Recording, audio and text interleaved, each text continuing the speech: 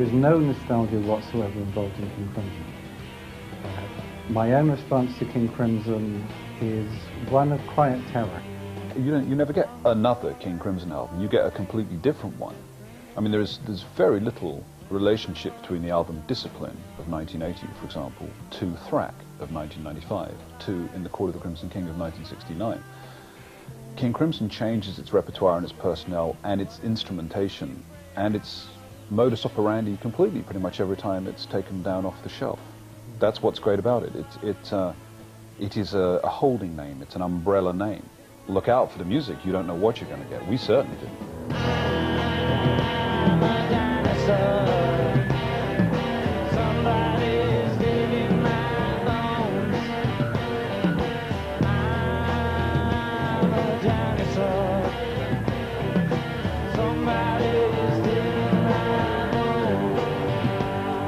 One of the beauties of having this particular lineup, two drummers, two bass players, two guitarists, and a singer, uh, you've got so many possibilities in the making of the music. How do you combine these different things? Who plays what on what drum kit, and whether they're electronic drums or there's not, or there's two, two times electronic drums and so forth, whether Tony Levin plays an upright bass or he plays the stick and Trey plays the stick. The combinations are endless, you know, so I think that's the reason we can orchestrate. Uh, I, I feel like we're kind of a modern electric orchestra of some sort.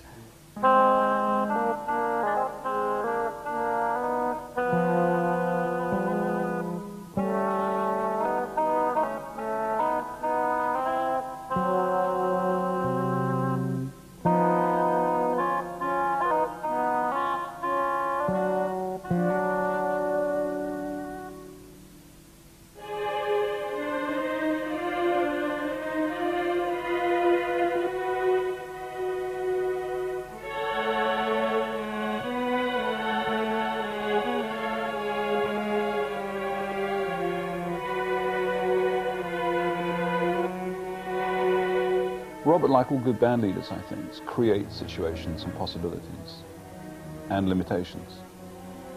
Defines roughly the area of the ballpark, roughly the, the pitch on which you're going to play, and lets you, then lets you get on with it.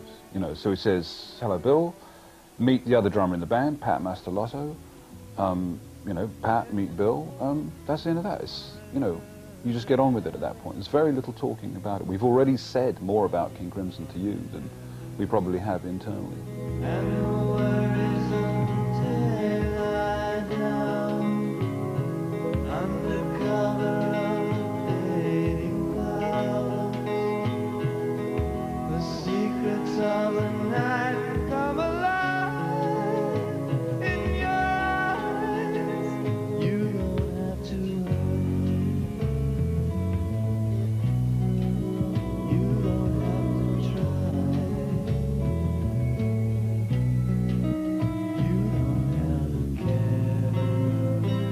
live performance and what is the kind of show which people are seeing now from King Crimson? Yeah, we cover different things. Uh, there's a there's a, a, good portion of the 80s material, um, and it sounds fresher than ever. I was really surprised at that.